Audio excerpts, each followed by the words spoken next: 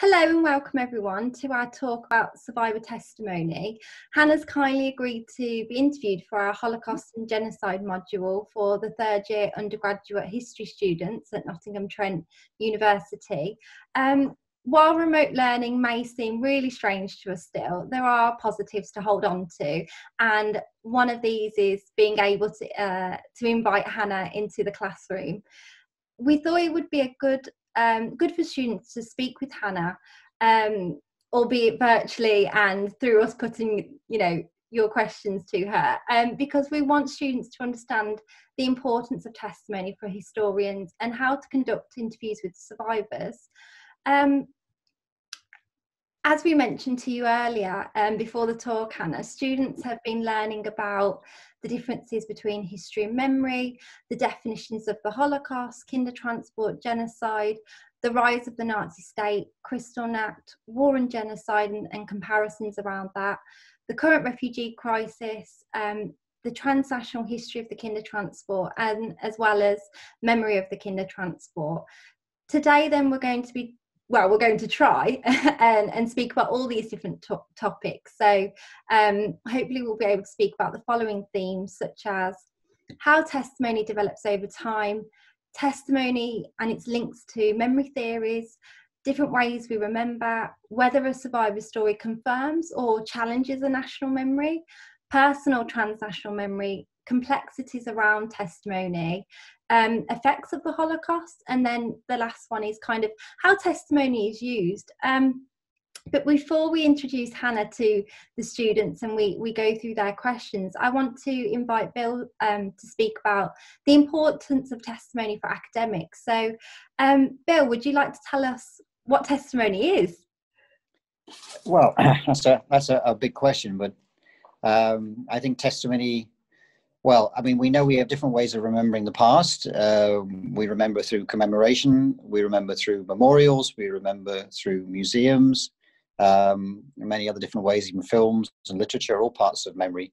But the only kind of direct window we have on the past is through survivor testimony, um, where survivors talk about their experiences um, at the time and subsequently.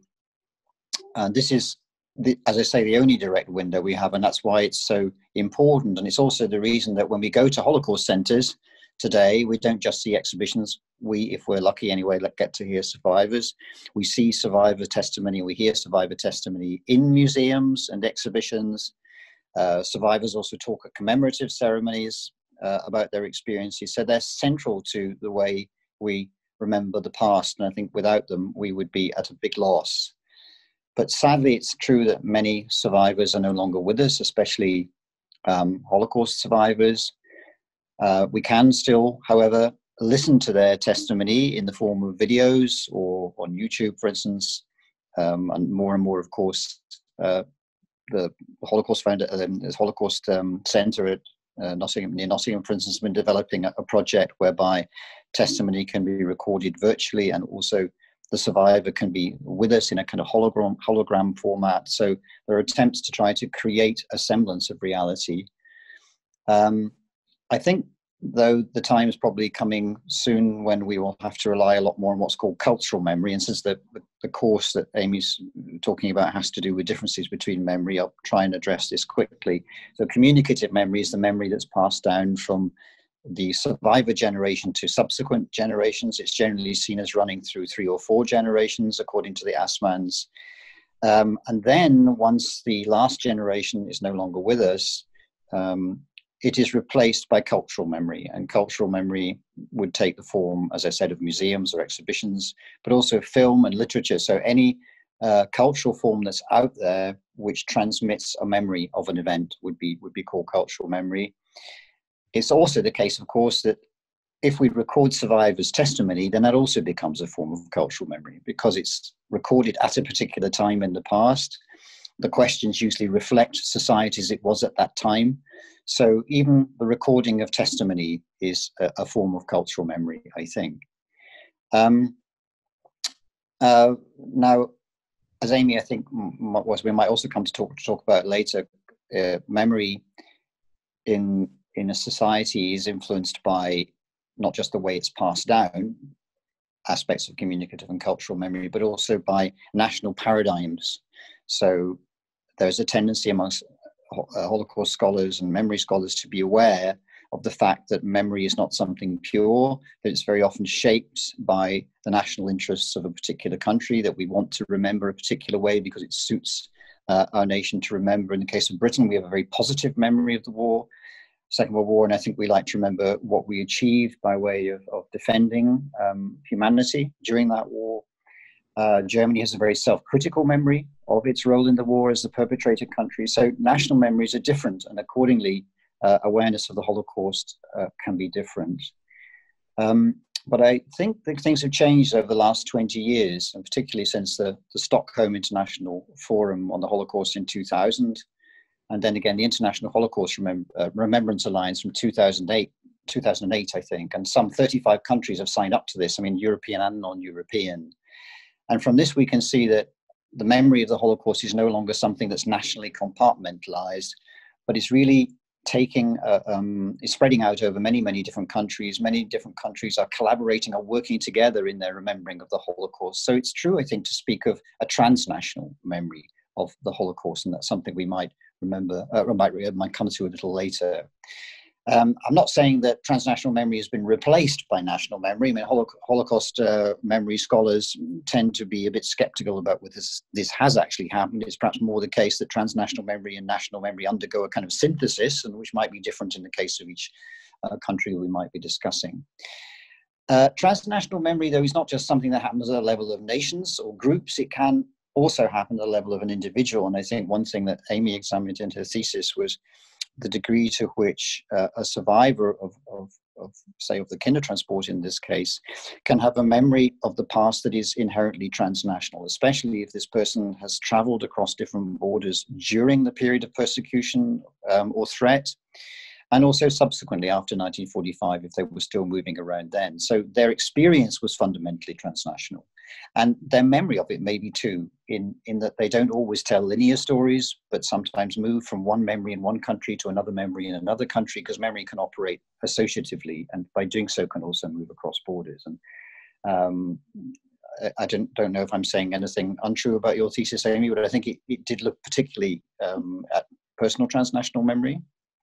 Yeah, absolutely. And and thanks, Bill, for such a great start and, and a really informative start as well uh, to an introduction of testimony. So, um, as the students know, we've been learning about you know so many different memory theories, and, and Bill provided the lecture on this. Um, we've looked at national memory, we've looked at multidirectional memory, cosmopolitan memory, post memory, communicative and cultural memory, which Bill has just uh, you know gone over again for us and now as bill mentions we're focusing on personal memory this week um, this is the final week that i have with the students and what a way to finish with you know with hannah's story um, and a, such a meaningful week as well with the anniversary of Kristallnacht um, tomorrow um, so now I now as Bill said it in terms of my thesis, we're going to look start looking at personal transnational memory. So what do I mean by that? Well, um, I mean exactly what Bill, Bill said. Um,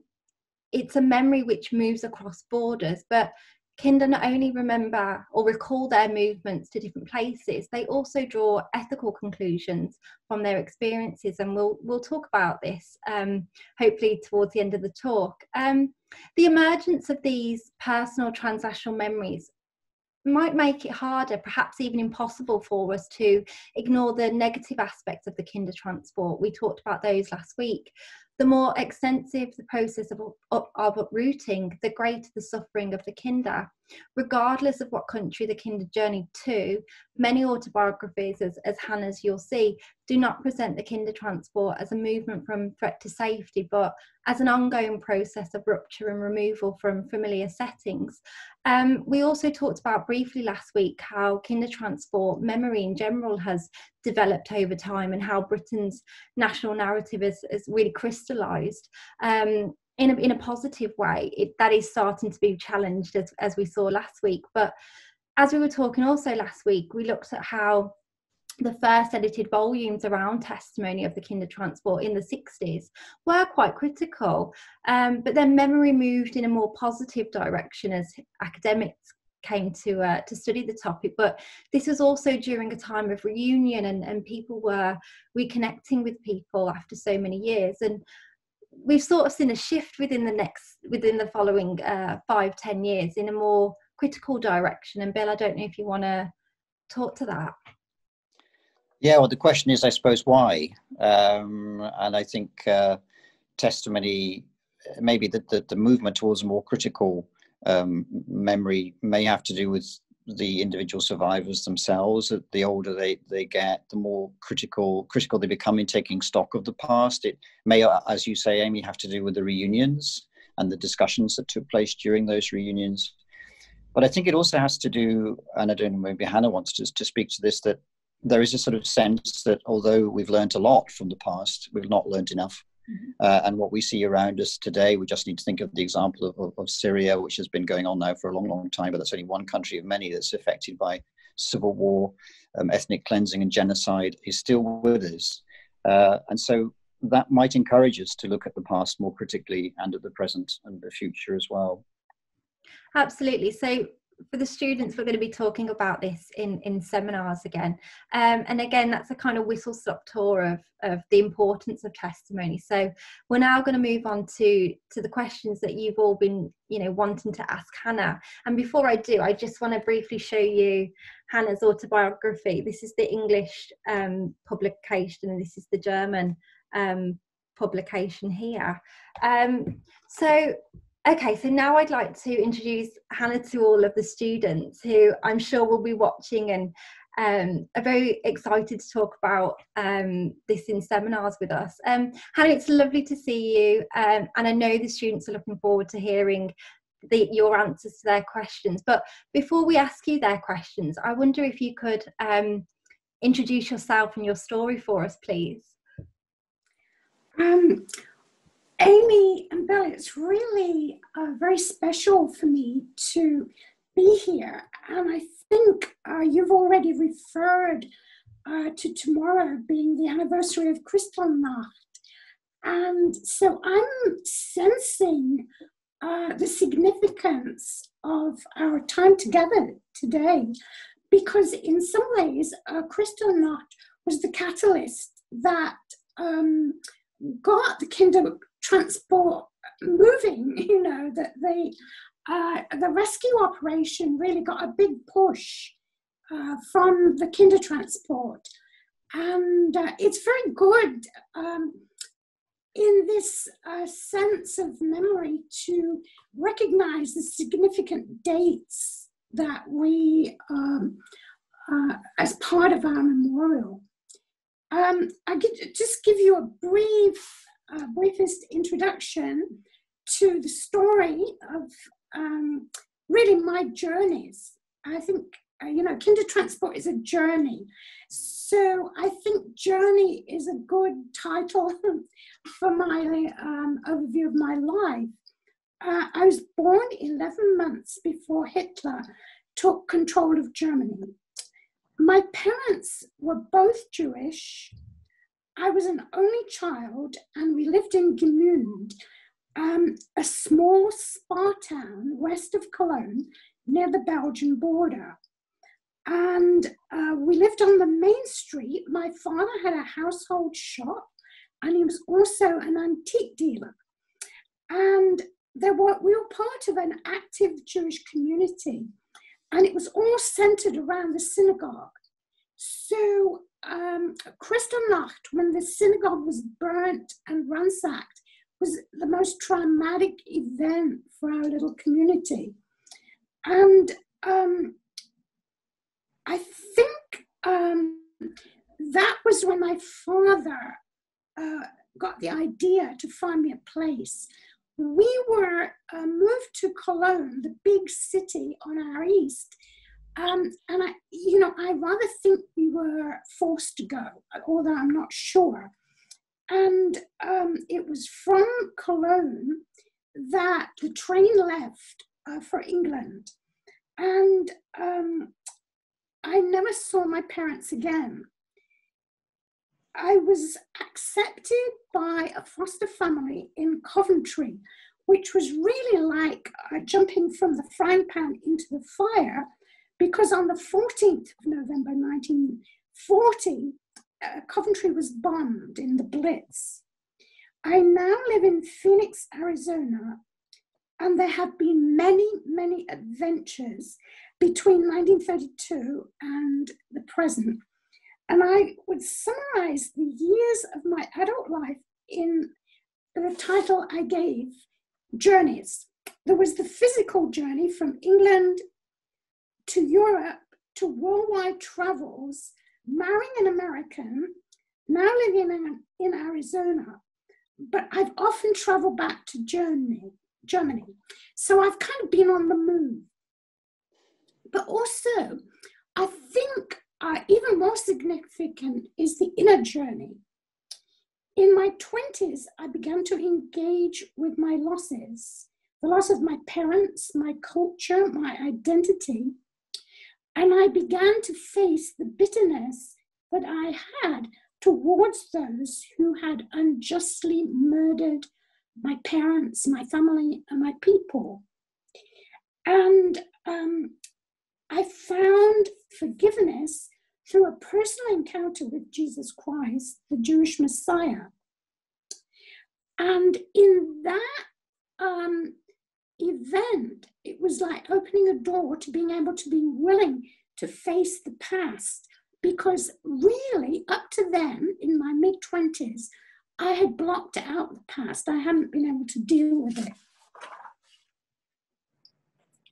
And finally, uh, the books that um, Amy showed are part of my healing journey, the process of really sitting with my past and entering into it for the sake of writing um, that was really a significant part of my ability to be freed uh, from the bondage of, of the past.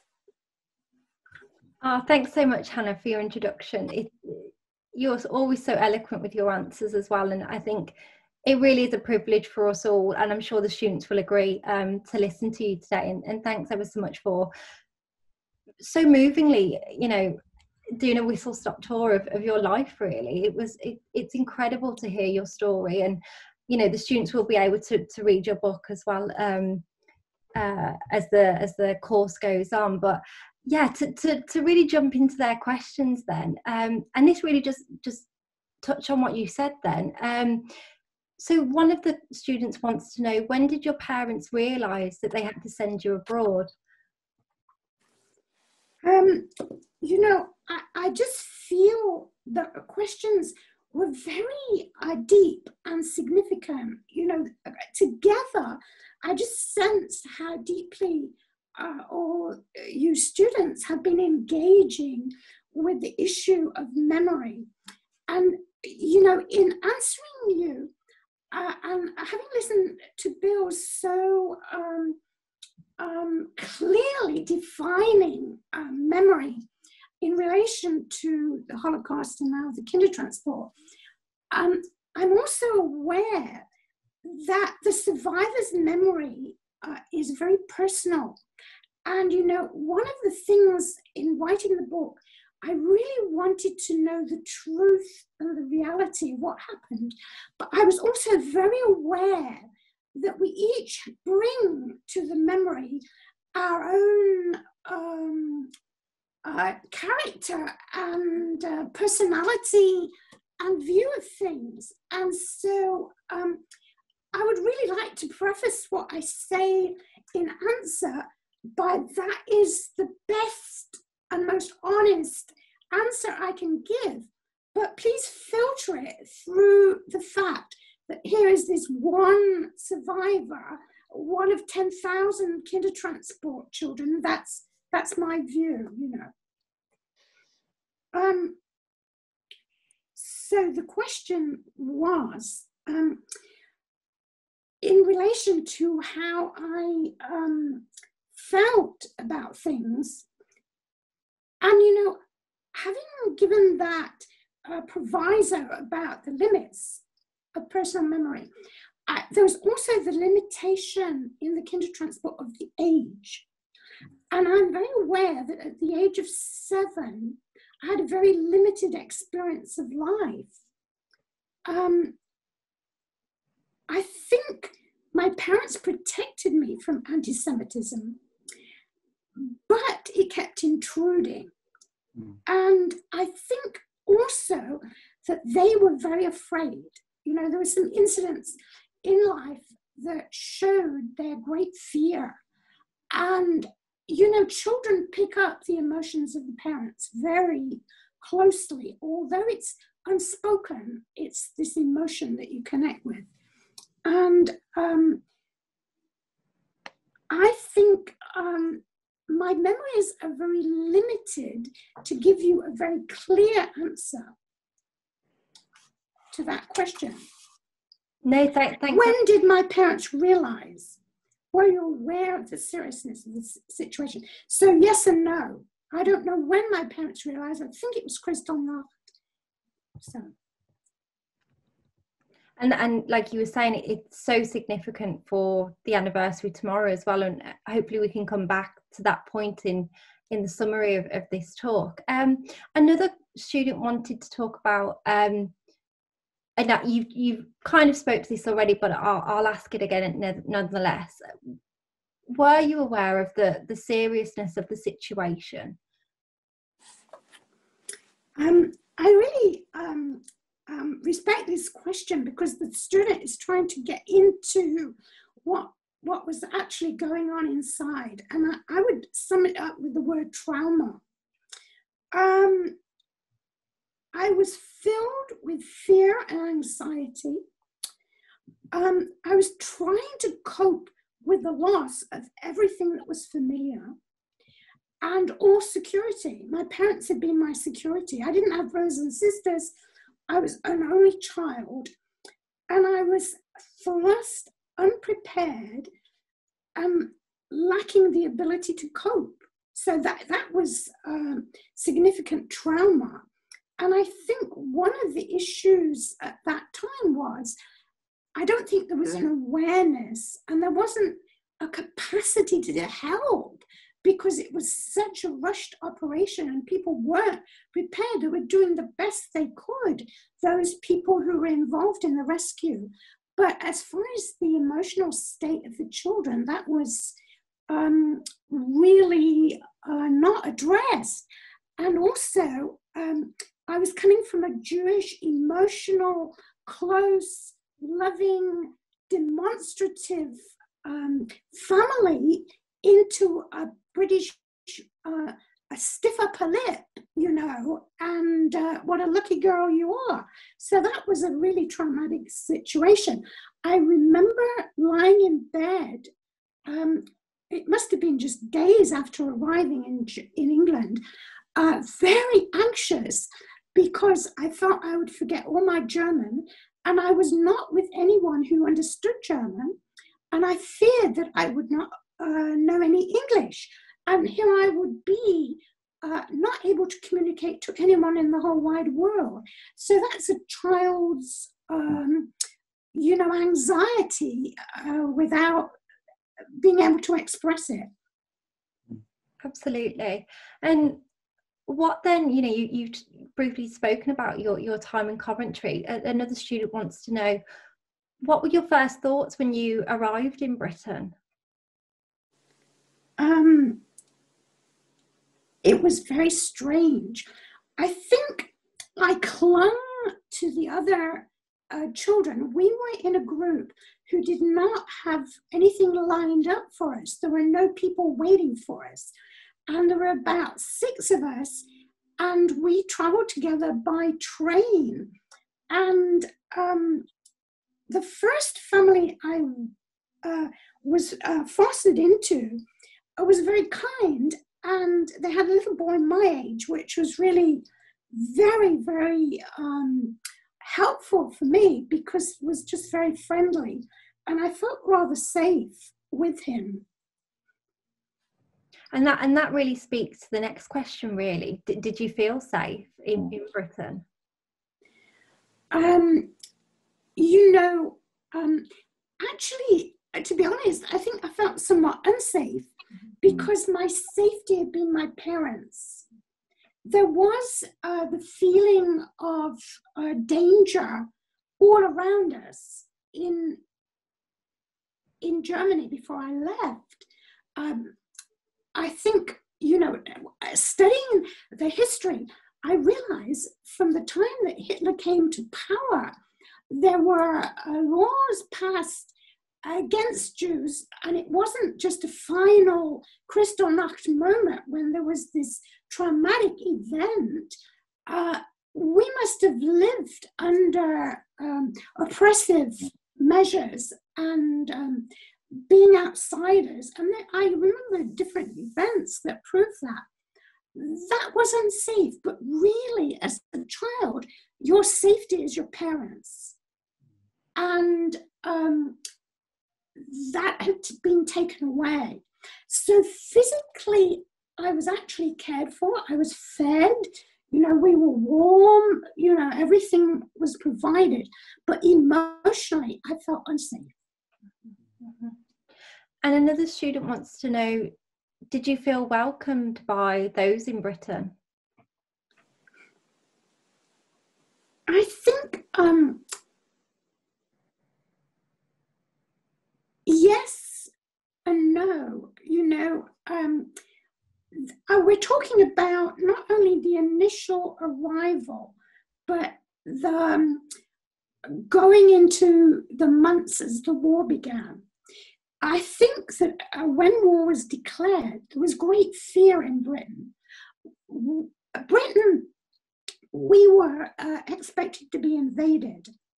And there were such warnings about fifth column and uh, spies among us. The fact that I was uh, German, I was Jewish, yes, but I was also German. Uh, there was a little unease with that, you know.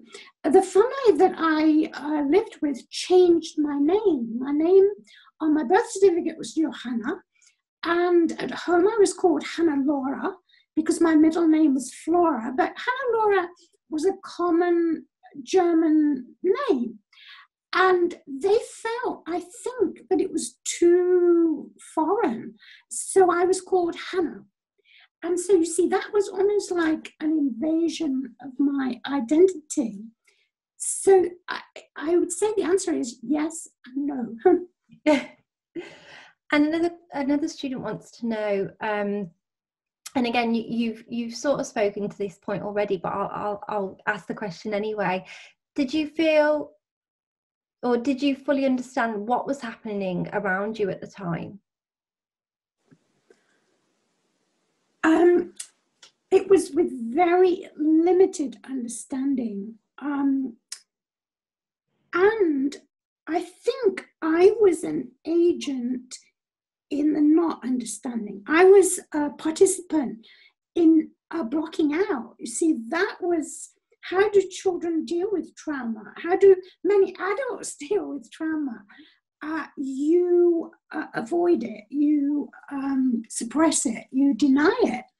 And so I buried um, what was really at my heart deep down, and I engaged with the present Mm, absolutely.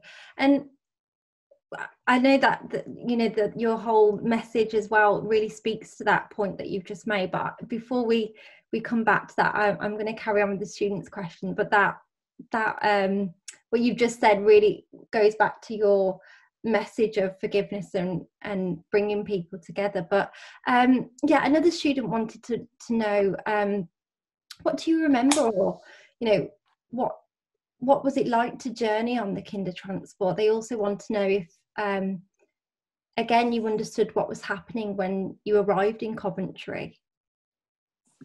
Yes, some of one or two of the questions have links, don't yeah. they? um, what do I remember?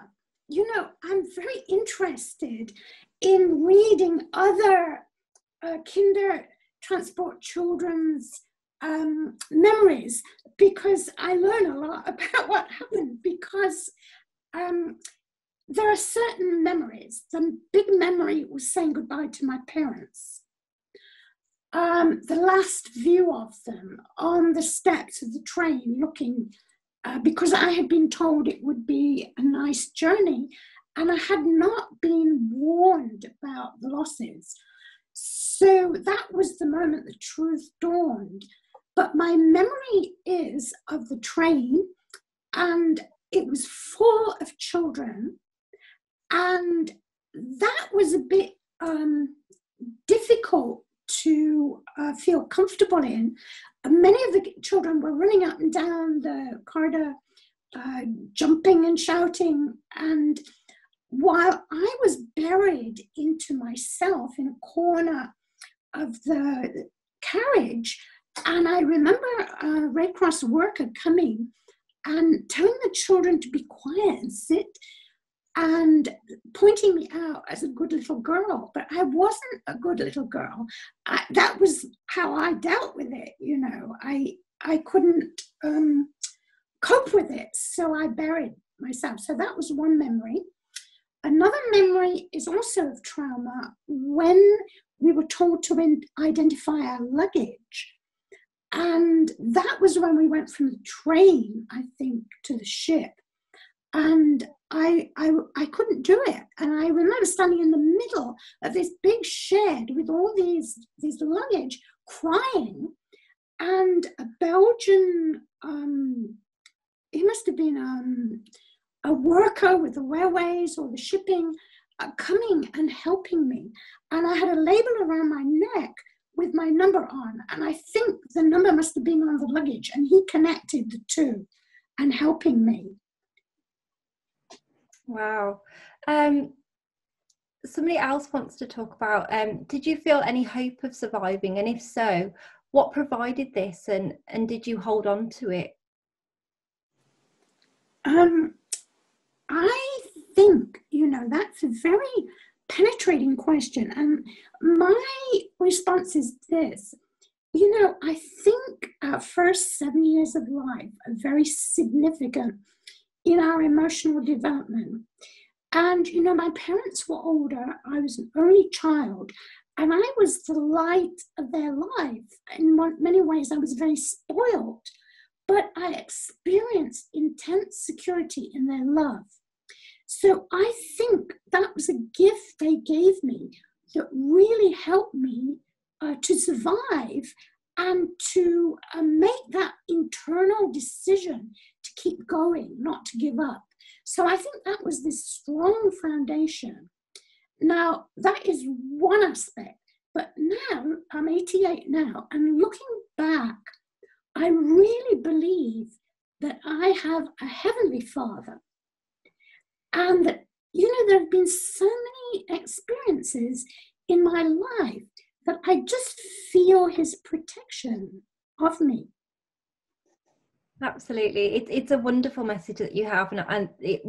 The last question, I'm sure you'll be able to speak to that more. Um, another student wants to to ask you: Do you forgive the people who um, had such a terrible impact on your life and that were responsible for the Holocaust? If so, what does that feeling of being willing to forgive them come from? And um, just get, speaking as well to that point, did you always feel that way, willing to forgive? You know, I marvel at the um, depth of understanding and interaction uh, of the student who asked that question with um, the deeper elements um, of the Kindertransport because, uh, you know, for me, uh, the whole issue of forgiveness is the key. Um, and I think there's another question about uh, the life afterwards. How how can I live? And um, I just feel that was, you know, we talked about journeys, but there's also crossroads in our journey. And I think um, my inability to forgive, first of all, in the first part of my life, up to my early 20s, uh, brought me uh, to a kind of desperation because um, the the cruelty, the injustice, and the loss, and the snuffing out of my parents' lives, my aunt's lives, and then all my little best friend's life, and then the six million, which is you can't really conceive of that. Um, you know, I was so filled uh, with bitterness and um, hatred for people who had done this. And, you know, uh, the con- and you know this whole thing of Germany as the enemy was really fostered uh, during those war years. And I mean, look at the cartoons and um, the words. So that fed all that that was in me. But you know, I think when you have a lot of hatred and you um, have this anger and bitterness, um, it doesn't really affect the people that you're angry with or hate. It really uh, damages you.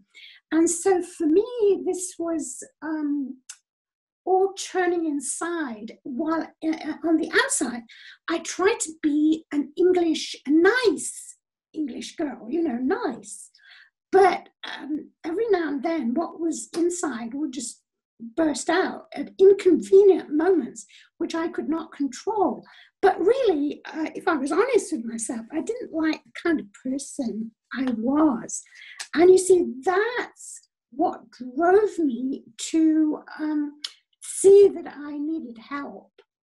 And the help that came to me was when I heard that Jesus could take all that pain, anger, hatred that was going on inside me, I could uh, gather it together and give it to him. And that's why he died. And um, that was the beginning of freedom. I would say that was the beginning of my forgiveness journey because I experienced that in Horsham, England, where I was a teacher. And that was a long way uh, from Gemünd in the Eifel, where it all happened. But that was the beginning, the first step. And the further traveling led me to actually go back to those places. Absolutely, and, and you you touched upon um, somebody else's question, and I'll just read it out to you now. Um, do you feel you live your life differently because of your experience with the Kindertransport?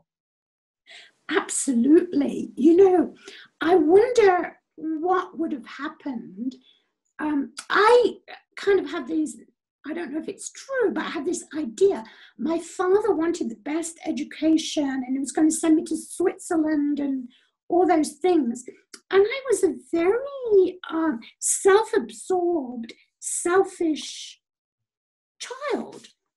And um, I would never want what happened to me to happen to anyone. But it, it's very interesting how something so awful, um, I can now um, see some sparks of light in it all. And um, I think um, somehow the word redeem, I think the losses have been redeemed because I feel my life has been very blessed. I'm very thankful for so many things uh, my husband, my friends, and the experiences I've been able to have. And I think the greatest satisfaction has been to actually uh, relate to people whose ancestors were part of the perpetrators and to um, to say that I forgive you. And this kind of really goes on to to this person's um, the student sorry um, next question. Do you think history will repeat itself and or something like this could happen again, or do you think it already has? Um, I think they all referred to Syria, and I think it's it's been going on think about um, the Rohingya in Burma and think about the Uyghurs in China. You know, think about all those the gulags in Russia. and um, think about some of the children that were separated from immigrant parents in America, and they, they still haven't found the connection. They haven't found the parents. Um, there is something um, dark in um, in all our hearts that needs uh, healing. Absolutely. And this is our final question um, from the students before we move on to something else. But the last message, um, sorry, the last question is um, Do you have a message for the future? Yes. Um, I, um, I am so happy uh, that you're doing this course. I think this is the message for the future because here we are, students who are engaging with what happened in one incident of um, persecution. So, my message is um, take care to um, respect uh, each other, those who are different, uh, receive them. You know, we are all um, children of God, we are all humans. And um, so, uh, my message is um, let's um, take care of our hearts. You know, um, it starts really in our own personal hearts. And you know, these are massive uh, international and national uh, wrongs, we can have microcosms of them in our family and in our friendships and in our associations. So my message is um, tend tend your heart, each of us, and I say that to myself. Oh, thanks ever so much, Hanna, for answering all the students' questions. Um, as we, as this is a you know a continuous talk, really, from we the students would have listened to our previous YouTube um, clips. That's what the kind of work I set them um, ahead of their of their seminars. So um, now's kind of the opportunity for us really to carry on the conversation and maybe to make some summary points from what students have, have been discussing in class. And I wondered, um, just before we Bill, bring Bill in, you know, what what is what does all this mean to you on a, on a personal level? You know, you, you've previously spoken to um, a primary school up in Liverpool, and you're now speaking with us at a, a university level at, um, in Nottingham. You know, what do all these virtual meetings mean to you? Um, you know, I'm a little bit um, astonished because here I am at 88 years old. You know, I used to kind of travel to Germany and talk to different groups, and we're closed in, all of us, with this coronavirus. And we're living in most amazing times when we are communicating across continents and we can have heart to heart talks face to face. So I think that um, I'm also amazed that at the age of 88, and I think sometimes when you're 88, I'm thinking about memory and sharpness of mind and everything. But um, it's like this huge door has opened, and the fact that we can record this, you know, Bill was talking about how um, shortly we will not have any living witnesses to the Holocaust or to the Kindertransport. Yet we have, you know, I feel as though I'm part of history in talking with you. And so I'm a bit awed by the, um, the significance of that, that the things we're saying today, other people will be able to hear years from now. And it is a message of warning, but also a message of encouragement.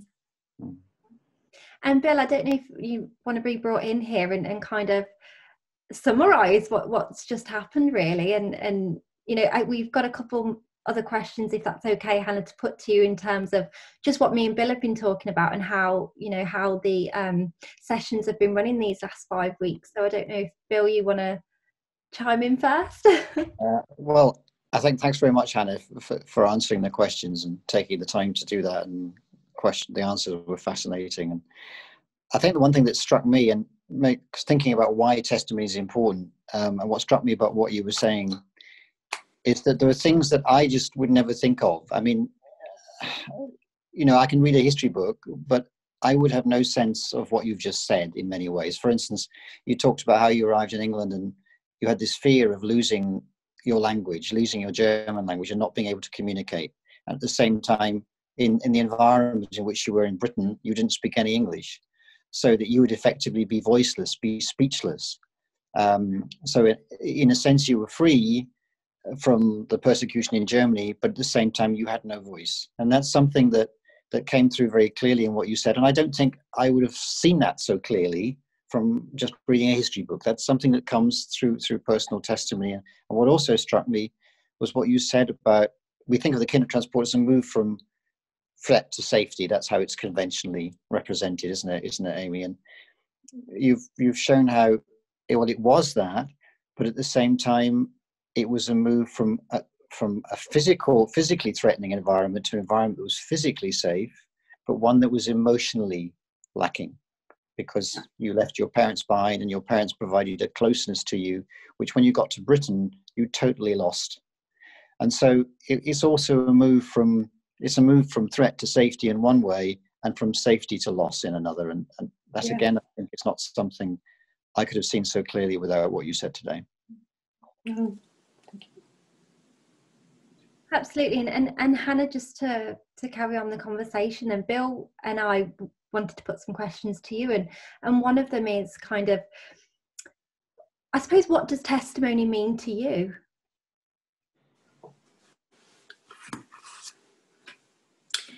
I think um,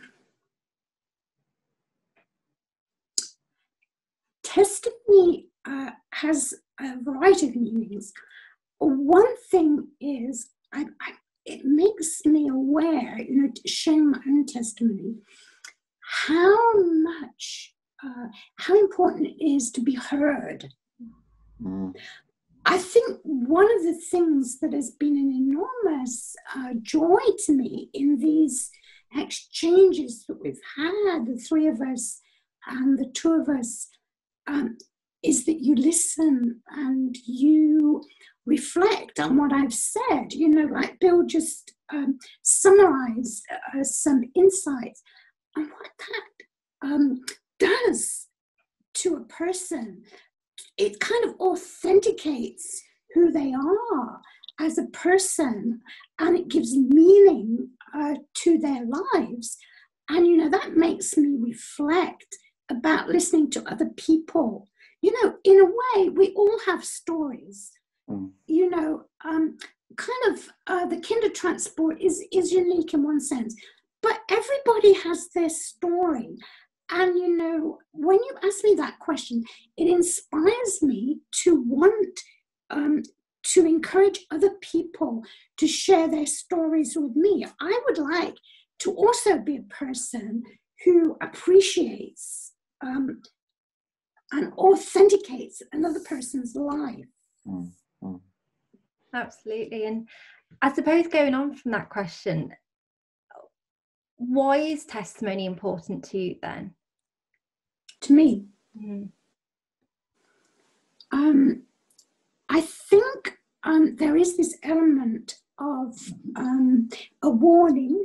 In my particular um, story, is a warning. You know, we all have different um, um, significance to our life stories. But because we've talked about um, the world and world history, um, and I, you know, I find um, it's very important for me not to have the identity of a victim in my testimony because I am not a victim. I have um, experienced uh, a healing of the past. And so that is also part of the message that I would like to give. And also, uh, I would like uh, my message uh, to be that my only identity is not a Kindertransport survivor. You know, when we experience that healing, it makes a, a fuller, richer life. And I think um, for a joyful, um, fulfilling life, we need um, to have a wider identity. So that's all part of the message that I would like to bring. So I feel that um, giving testimony, I want to uh, serve others in their lives and to enrich their lives. It, it needs to have a purpose uh, beyond uh, just uh, for me, you know, my self expression. Absolutely. And I think, you know, I can't thank you enough for all the, the exchanges we've had and how much you really helped me with my thesis and going forward, Bill and I, with that, with the book that we're doing. And I suppose that leads on to my next question. You know, we've both had the privilege of one reading your book and then two you know speaking and having so many lovely conversations with you and really meaningful exchanges. But for the students that haven't all read your book at the moment i suppose uh, for them i'd really like you to talk about if, if you don't mind how you put your own testimony together. Yes um, um, I was a reluctant writer. You know, you're hearing me today um, after a, a, long journey through um, denial and resistance. I was a resistant person to telling my story, but this is the exquisite um, way of um, the way it's fallen out. Uh, it was a German who got me over the hump. You know, isn't that lovely? You know, and um, so and I've lost my train of thought. What was it you were asking me? Oh, sorry. How you put your own testimony together? Okay. Yeah. Well, one of the things uh, was uh, to actually go back to the places uh, where things happened. You know, um, my husband and I went back to Gemünd. We went back to Cologne. We actually um, went to the place where we lived in Cologne. We went to where my parents uh, were gassed, and we went to the forest where their bodies were burned. And we went to the river where the ashes were dumped. So, for me to actually go to the places where it happened, it was very um, tough, it was hard. But also, I often in those journeys was either with my husband or with friends who helped me. So, one of the things I felt was God's blessing in doing that. And, you know, if I took the step, although it seemed such a, an impossible thing emotionally, it was like I was met by all the help possible. And there were often little incidents. So I recorded those. You know, I felt my book was my um, kind of journal of my life, the past and what was happening now. So I, it was this um, experience of healing those events by going there and feeling the feelings I'd never felt before and then writing about it. And writing is quite um, a release. It was like, it was tough, it was hard, and it was hard to find the words and how to edit it and arrange it. But the exercise was enormously beneficial. And it, and it, it, shows, and for the students that haven't finished Hanna's book, it it's it's amazing. It, it really is an incredible read, and I've I've told them about um, you know the youtube clips that where you're you are discussing your book as well and i think they'll they'll be reflecting upon that in class as well.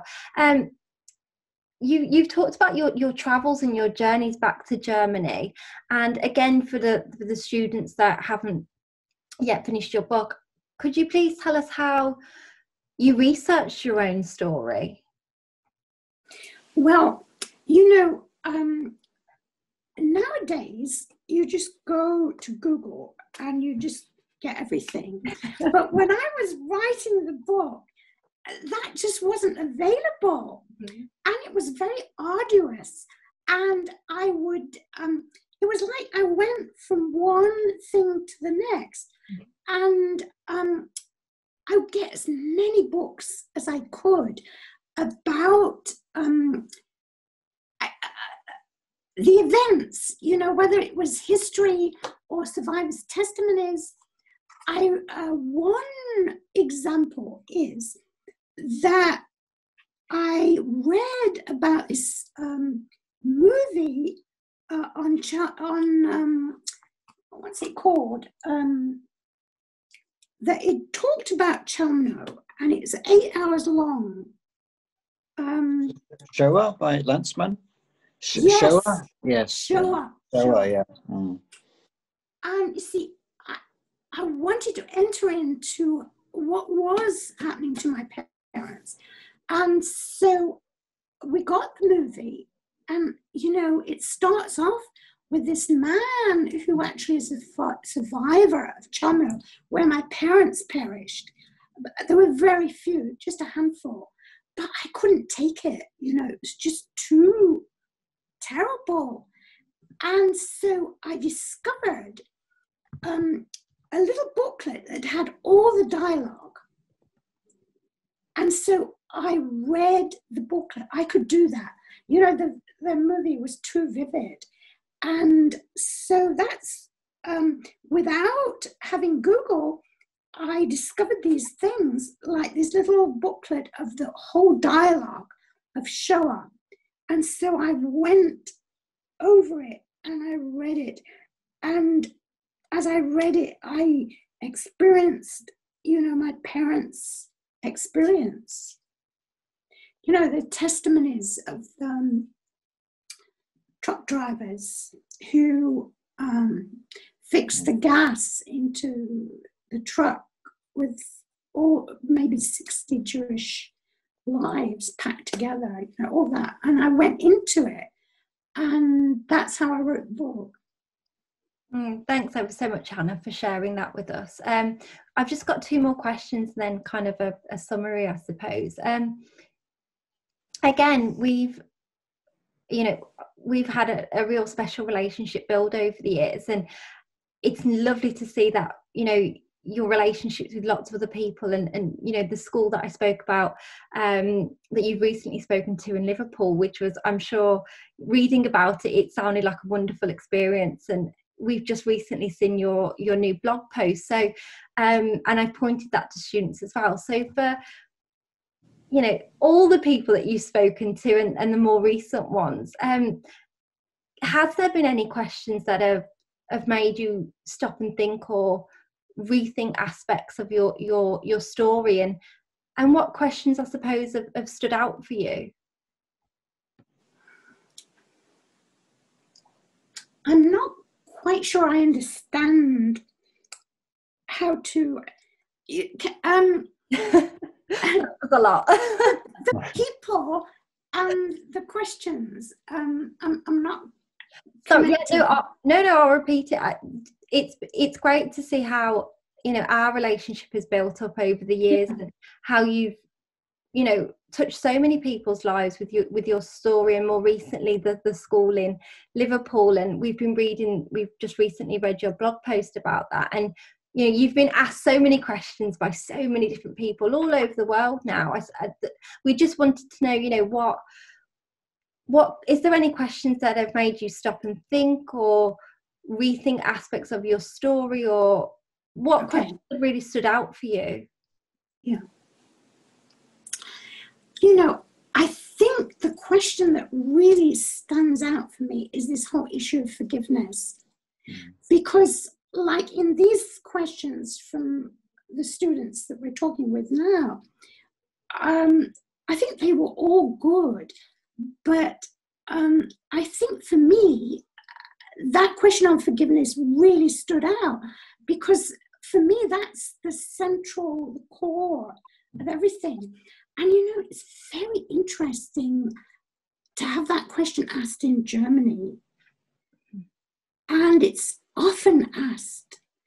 And, um, you know, um, the last um, Zoom call we had with the um, Gordon Tall Synagogue, for what stands out, they weren't asking me a question so much as they were sharing from their heart.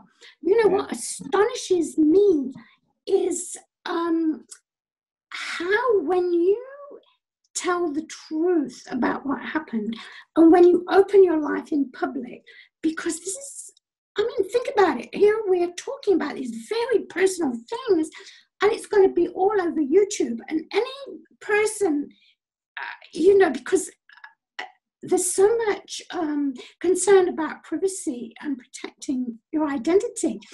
But uh, opening up, you know, people are longing to be able to share what's really going on. And in that Gordon Tal synagogue talk with the community. Here was a German community, and this woman and her husband interact, and she says, I just heard about what was done on Kristallnacht in our community, and the Jewish people standing trembling outside their houses and their goods being thrown out. And she said, I am ashamed. I am ashamed. And, um, you know, that stands out for me. And you see, that crystallizes for me that really my purpose is to share, especially uh, in these issues with Germans, that there is forgiveness. You can be free you don't have to carry the shame of your ancestors, you know.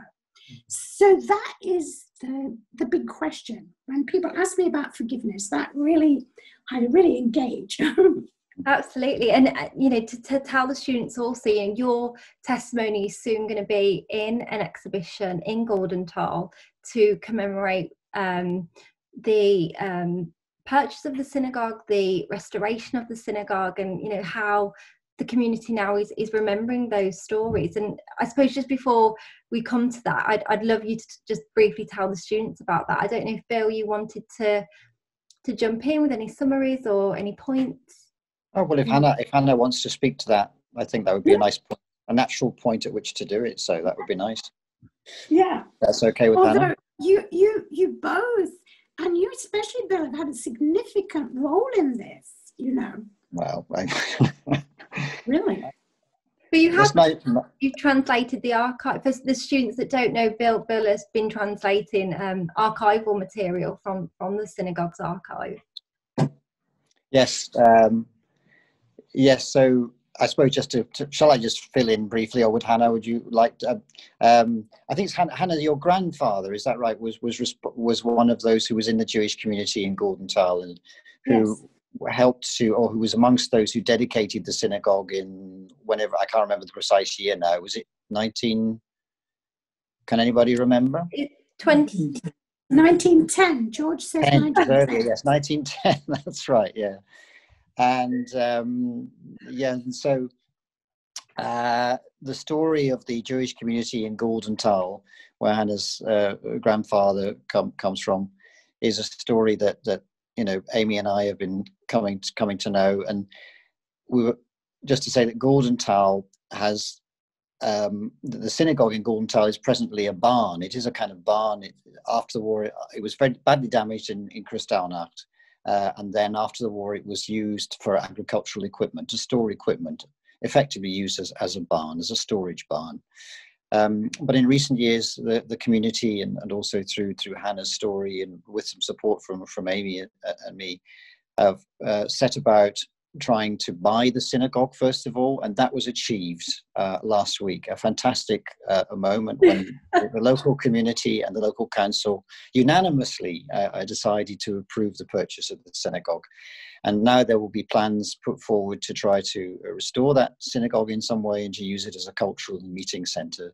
Uh, and it's it's it's fantastic. And just as when Hanna was talking about the meeting we, we had with the community, well, Hanna talked to the community in Gordontal through Zoom uh, recently, and, and Amy and I were also there. And I was also touched by the way members of the community came forward and talked to you. And after you'd introduced yourself, they introduced themselves, each of them, and and very touching stories about how they'd gone past. You know, one man said, "I used to go past the synagogue and I didn't know what it was," and somebody said, "I would go past it and the door was always closed, and then one day I noticed it was open."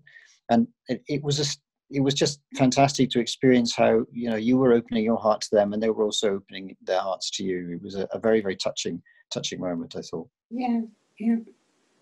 Absolutely, and, and for the students as well, you know, Hanna's story has been published in an autobiography. It's been used in academic work. It's now going to be hopefully um, a testimony is going to be uh, produced in this um, hopefully new exhibition that we'll be doing. It's also in the current exhibition that's there that that's traveling around Germany at the moment. And you know your your testimony is also available to see on on YouTube and your audio book as well. So we talk about how testimonies developed. We've talked about that briefly last week but more so here but also how it's used. Testimony is used in so many different ways. And as Hanna said you know you're part of history. Your your story is being told to to so many different ages of, of students and, and the public more generally in so many and it's, communicated in so many different ways and really creative ways as well you know the, the stuff that you're you're doing with um Quelling is is wonderful how they're putting these YouTube clips together. It's so inventive. It's wonderful. But yeah, just just to really conclude now, you know, it's the anniversary of Kristallnacht tomorrow, and you know, a day that um, you know is, is really part of your story. And I just wondered if Hanna, you wanted to to leave us with a blessing, really.